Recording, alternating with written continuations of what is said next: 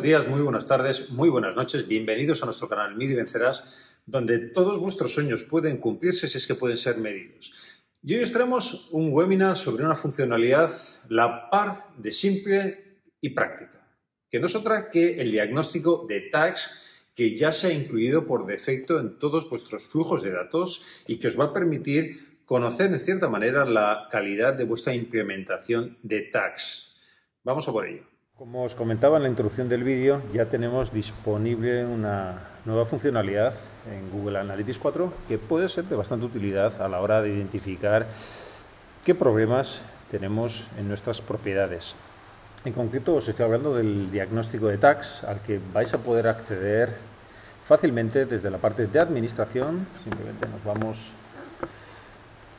una vez que estamos en nuestra propiedad, a la zona de administración y tenemos que acceder a los Google Tag Settings que vamos a encontrar dentro de nuestros flujos de datos. Accediendo al flujo de datos en concreto. Y aquí abajo yéndonos a la parte de Tag Settings. Aquí lo tenemos.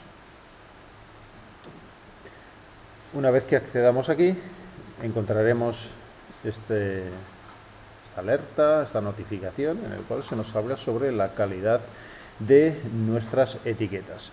En concreto aquí vais a encontrar que, bueno, pues que nos, va, nos puede indicar que la configuración de nuestras etiquetas es excelente. En el caso de que esto sea así, pues bueno, eh, no tenemos que preocuparnos o no hay ninguna acción que debamos hacer. Nos encontraremos también que la calidad puede ser buena. En ese caso, simplemente pues eh, hacer caso si existe alguna notificación menor para hacer algún cambio ajuste.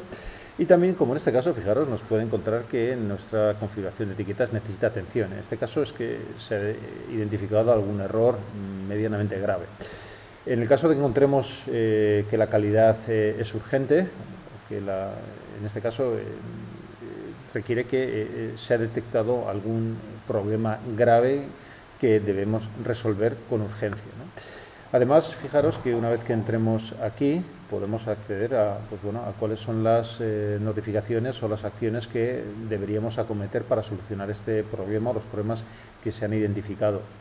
Aquí en concreto encontramos dos. Una, eh, por un lado, que una de nuestras páginas o algunas de nuestras páginas no han sido tagueados y por otro lado nos advierte también pues, que en nuestra propiedad deberíamos incluir un nuevo administrador. Eh, fijaros, eh, aparte, eh, si pinchamos aquí en este enlace, veremos un detalle de todas las páginas en las cuales pues, bueno, hemos incluido nuestro tag de seguimiento y aquí encontraremos pues también un detalle de aquellas páginas en las cuales no se ha encontrado el, tag de seguimiento, la etiqueta. Eh, fijaros que en ocasiones puede ocurrir eh, que, eh, pues bueno, que accedamos a estas páginas y veamos que son páginas que directamente son 404 o páginas que realmente no existen y tampoco tienen una relevancia mayor. En concreto, los tipos de diagnósticos o las incidencias que vamos a poder encontrar aquí son las siguientes. En primer lugar, podemos encontrar eh, alertas relacionadas con la configuración entre dominios, es decir, eh, que estemos utilizando eh, el código de seguimiento en diferentes dominios. también podemos encontrar alertas relacionadas con que la configuración o las etiquetas de configuración están desactualizadas. También podemos encontrar problemas con el consentimiento, con consent mode, que nos identifique o nos indique que no hemos realizado una integración correcta con consent mode.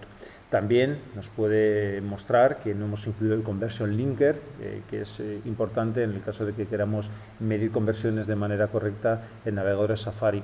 Y también pues, indicaciones del tipo que eh, se ha detectado algunas páginas en las cuales no hemos incluido el código de seguimiento o como veis aquí también nos puede incluir alguna recomendación más que error. Eh, en este caso nos está indicando que deberíamos incluir más de un administrador por motivos de seguridad en nuestra cuenta.